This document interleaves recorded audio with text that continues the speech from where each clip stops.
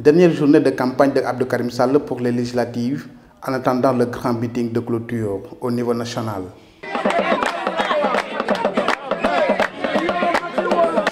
Première étape, Kermbay Fall. Ici, on implore la bénédiction du chef de village Maripouy, comme le veut la tradition. Après quoi, le porte-à-porte reprend son cours. Imam, chefs de quartier ont tous accueilli Abdou Karim à bras ouverts et prédisent une victoire éclatante de Benno Bokoyakar au soir du 30 juillet.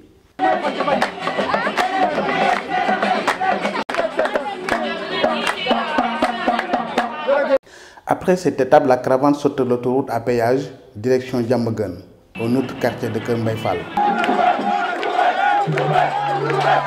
Dans ce fief de Babacar Doukouré, l'accueil donne ceci.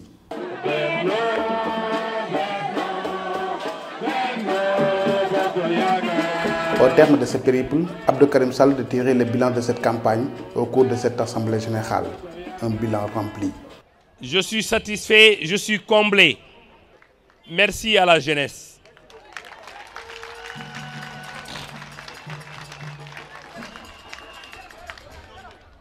La jeunesse, zéro faute.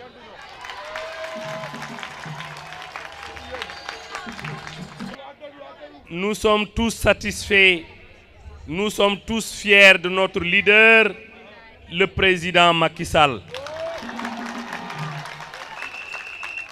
Pour le reste, des consignes de vote, des éclaircissements sur la saisine du Conseil constitutionnel.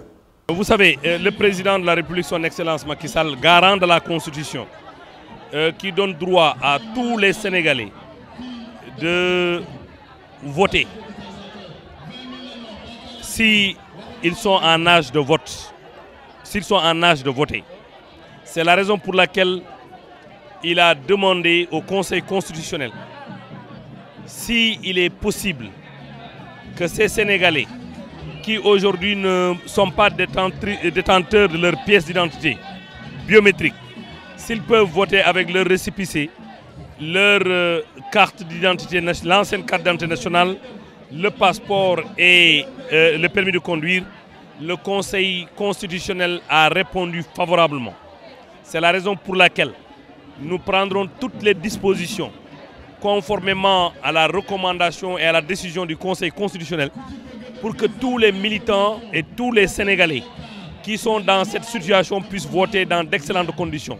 Maintenant, nous avons demandé à nos militants, ceux-là qui sont détenteurs de récépissés, de passer au siège pour qu'avec le système, nous puissions leur communiquer leur centre, de vote et leur bureau de vote.